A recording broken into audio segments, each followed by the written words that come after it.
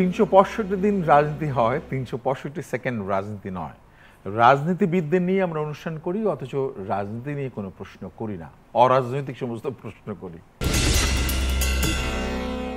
আমাদের মধ্যে আজকে উপস্থিত আছেন অ্যাডভোকেট উম্মে রাজিয়া কাজল, সাবেক সংসদ সদস্য গোপালগঞ্জ, বাংলাদেশ আওয়ামী লীগ। আপা, আপনি কেমন আছেন? জি ভালো আছি ইনশাল্লাহ। আপা আপনারা কয় ভাই বোন ছিলেন? আমরা চার বোন। চার বোন। কোনো ভাই নেই কোনো ভাই নেই। আপনার বেড়ে উঠেছেন কোথায়? আমি বেড়ে উঠেছি গোপালগঞ্জে। গোপালগঞ্জে। গোপালগঞ্জের মুকসুদপুর উপজেলায়। আপনি ছোটবেলায় আপনি যখন স্কুলে পড়াশোনা করতেন তখন আপনি কেমন ছিলেন? অতিরিক্ত চঞ্চল ছিলাম। আচ্ছা। সমস্ত কিছু করতাম। ধরেন গাছে ওঠা বলেন মাছ ধরা বলেন নৌকা বাইতে বলেন বা ভেলা বাহ। বা ভেলা বাইতে বলেন হ্যাঁ। যেটা বলেন সেটা সাঁতার কাটতে বলেন সবকিছুই মানে একদমই নদীমাতৃক একেবারে। বাংলাদেশে যা যা দরকার। যা যা দরকার। আপনি ইয়েতে ডাব গাছে উঠেছেন? হ্যাঁ ডাব গাছে উঠেছি মনে হয় সেটা বলতে পুরাটা উঠতে পারিনি ছোট গাছে উঠেছি কিন্তু বড় গাছে উঠিনি। ছাত্রী হিসেবে কেমন ছিলেন বলতে যাচ্ছিলেন? ছাত্রী হিসেবে ছিলাম মনে হয় ভালো কিন্তু পরিস্থিতির জন্য লেখাপড়া খুব বেশি মানে স্কুলে যাতায়াতটা খুব কম ছিল। একটু কম করতে পারতাম। সেটা হলে ক্লাস ফাইভ পর্যন্ত বেশি পড়তাম। পরে দু এক বছর একটু খুবই কম ছিল। কারণ আমরা যেহেতু চার বোন ভাই ছিল না বাবা সরকারি চাকরি করতেন দূরে ছিলেন। আর সেই ক্ষেত্রে আমাকে পরিবারের সমস্ত ধরনের কাজ করতে হতো। আচ্ছা আপা আপনাদের ঈদের কথা কেমন মনে আছে? ভাই বোনরা ঈদে কি রকম পোশাক ওরে পরতেন বাবারে ভাই বোনেদের তখন তো তখনকার দিনের অবস্থা জানেন যে অর্থনৈতিক অবস্থা দেশের এরকম ভালো ছিল না।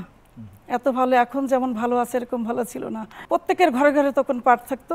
এই পাট উঠার সময়টা ছিল ঈদের সময়। পাট যখন উঠে পাট যখন আমাদের এলাকায় একেবারে গ্রাম্য ভাষায় বলে যে পাট নইতে হবে ধুইতে হবে বিক্রি করতে হবে।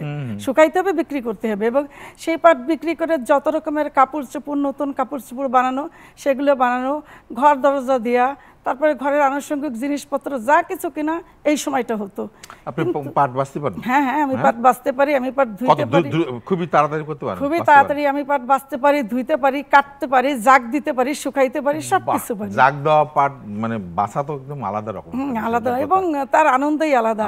আনন্দই আলাদা সবকিছু। এক- একরকম জাগের একরকম গন্ধ থাকে হ্যাঁ জি জি। কিন্তু পাটের এই গন্ধটা খুবই মজার। খুবই মজার। বাবা মার কাছে কথা কে বেশি লাগাতো? পেট পাত্তা কে ছিল? না বাবা মার কাছে কোনো বেশি লাগালাগি কোনো কিছু ছিল না। না পেট বলো না যে তোর পেট না না তা ছিল না কারণ আমি একটু বিশেষ করে আমি একটু ডান পিঠে ছিলাম একেবারে বেশি রকমেরই। আমি আমার বোনদের খুবই ভালো জানতাম খুবই ভালোবাসতাম। আমার ছোট চার বছরের এক একজন চার বছর বয়সের ছোট তাদেরকে আমি কোলে নিয়ে যেতাম আর কি খেলাধুলা করতাম। দুরন্ত সময় আপনার প্রেমের চিঠি কবে পাইছেন? কোন ক্লাসে পড়তেন তখন আপনি? এটা তো বলতে পারব না যে প্রেমের চিঠি কবে পেয়েছি কি যখন করেছি ক্লাস সেভেন সিক্স বা এইট বা নাইন ধরেন এখন হলো যে অবস্থা এমন যে অনেকে গায়ের রং ফর্সা হয়ে তার দিকে কেউ তাকাতো না আর অনেকের গায়ের রং কালো হইলেও তার পিছু কেউ ছাড়তো না। ছাড়তো না। খুব ভালো মানে ওই তো মানে ওই রঙেই তো আসল। বুঝতে পারছেন? তো তখন থেকে আর আমি যেহেতু একটু ডান পিঠে থাকতাম আমি সব সময় সোজা তাকাতাম। আমি দেখতাম আমার দিকে হাজার চোখ কিন্তু আমি দেখতাম না। আমার চোখটা সবসময় সামনে থাকতো। প্রথম তাহলে আপনি প্রেমে পড়লেন কবে? প্রথম প্রেমে সেটা অনেক অনেক কিছু গেছে মানে মানে এত যেমন- কলেজে নাকি না না না। কলেজে তো নাই কলেজে তো নাই বোধহয় প্রাইমারি কলেজে তো নাই। প্রাইমারিতে পড়েছি? আচ্ছা, কলেজে তো নাই প্রাইমারি প্রাইমারি থেকেই তো মানে আনাগুনা গান শোনা এটা শোনা ওটা শোনা অমুক তমুক বহুত ফুল তারপরে। তারপরে ইসের সময় যখন হাই স্কুলে উঠলাম তখন মানে এক ছেলের পাশে এক ছেলের খাতায় দেখি তার রোল নং রোল নংয়ের পাশে প্লাস দিয়ে আমার রোল নং লেখা। বিয়ে তো করেছেন আপনি? হ্যাঁ। সেটা বিয়েটা কীভাবে করেছেন? বিয়েটা প্রেম করেই করেছি। এই- জায়গাটা আমি এইটাই তো জানতে চাচ্ছি। এত কথা বলা লাগতেছে গোপালগঞ্জের মানুষের বাপ রে বাপ। আমি বলছি যে সেই প্রেমটা ভাইয়ের সাথে কি করে হলো? হ্যাঁ, সেটা স্কুল থেকে হয়েছে হাই স্কুল থেকে হাই স্কুল থেকে শুরু করেছেন? জি হাই স্কুল তা এসে বিয়ে করলেন তার কত বছর পরে? তা বিয়ে করেছি বেশ বছর মনে হয় সেটা কমপক্ষে আট আট থেকে দশ বছর। প্রেম করার পরে বিয়ে করেছেন। আচ্ছা এই যে আপনি একটা সোজা তাকানো একটা মানুষ।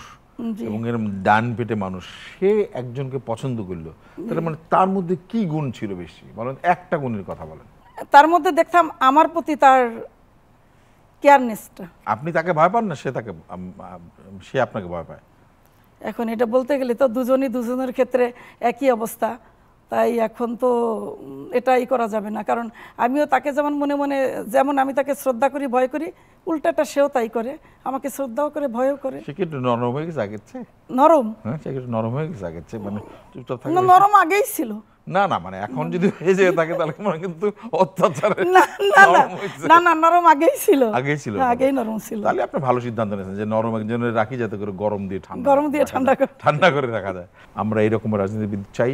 যাদের শৈশব অনেক বেশি স্বর্ণালী, যারা মানুষকে চেনে, নদীর গন্ধ যারা চেনে, যারা যারা পাট ধুতে পারে, পাট নাড়তে পারে, তাদের মতোই আমরা নেত্রী চাই এই দেশে। আপনি সুস্থ থাকেন, সুন্দর থাকেন। দর্শক, আপনাদের সঙ্গে আগামীকাল নতুন কোনো অতিথি নিয়ে কথা হবে। আপনারা ভালো থাকবেন এবং মাস্ক ব্যবহার করবেন।